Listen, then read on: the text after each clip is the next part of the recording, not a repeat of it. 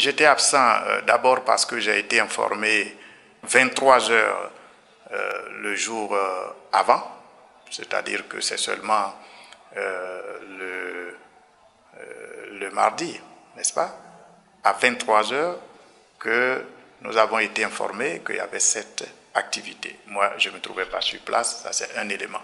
Un deuxième élément, même si j'avais été sur place, je ne comprenais pas très bien que le NDI, qui est une ONG internationale, euh, élise de domicile euh, au palais du peuple pour faire signer un document. Voyez-vous, euh, nous pensions que le NDI, comme il a fait euh, déjà l'année 2010 euh, euh, aurait pu nous inviter soit à son siège, soit à la CEI, soit dans un autre cadre, mais pas au palais de la présidence. J'allais dire, nous n'avons pas compris. Voilà, personnellement, voici un peu les réserves que nous avons émises. Cela dit, nous sommes prêts à nous rendre à tout autre lieu qui nous sera indiqué.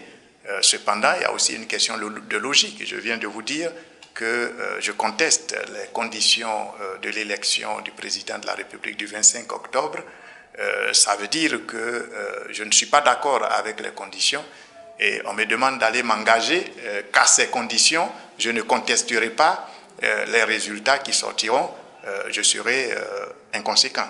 Le lancement officiel se fera ici, à ce QG, devant notre QG.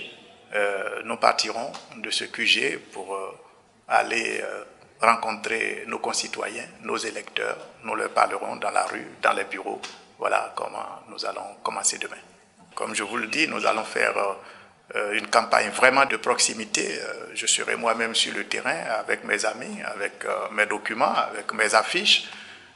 bien sûr, nous ferons une caravane pour parcourir les grandes villes que nous pourrons, bien sûr en accord avec, avec nos moyens.